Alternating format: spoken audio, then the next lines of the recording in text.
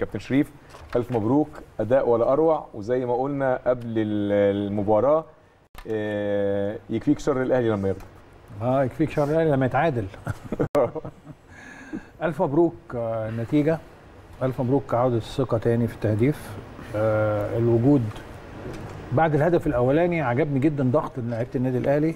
آه يعني هي من البداية أعتقد الضغط كان واضح من بداية من المباراة. بدايه فتح ثغرات ووصول للملعب. أنا أنا مع كل اللي شفته النهارده ده.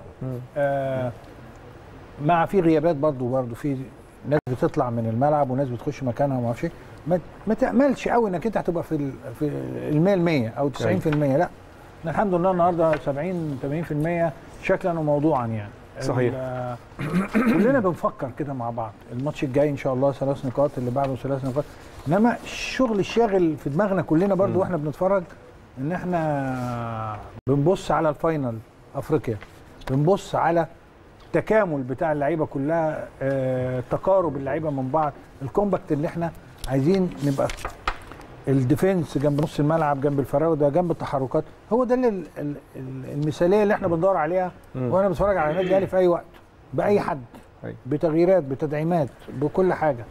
والأجهزة الفنية كلها بتت يعني بتطمع معانا بنفس الشكل. الحالة البدنية بتاعت اللعيبة الضغوط اللي على اللعيبة الحاجات دي كلها هي اللي بتبان في الماتشات.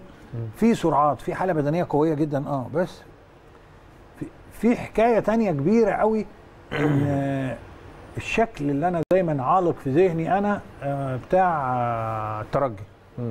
آه، عاملين ضغط. لما بنبقى عايزين بيبقى لنا شكل كويس قوي لما بنبقى عايزين اللعيبه كلها بتبقى فاهمة بعض فاهمة إمكانيات بعض. فإن شاء الله الماتش الجاي بالنسبة لي أنا أشوف خلاص النفسية استريحت الدنيا كلها استريحت. كل ما بقرب أكتر لل final كل ما عايز أشوف آه سيناريو أنا رايح وأنا مطمن إن شاء الله رب العالمين. بإذن الله. فمبروك النهارده وبإذن الله الجهاز الفني واللعيبة.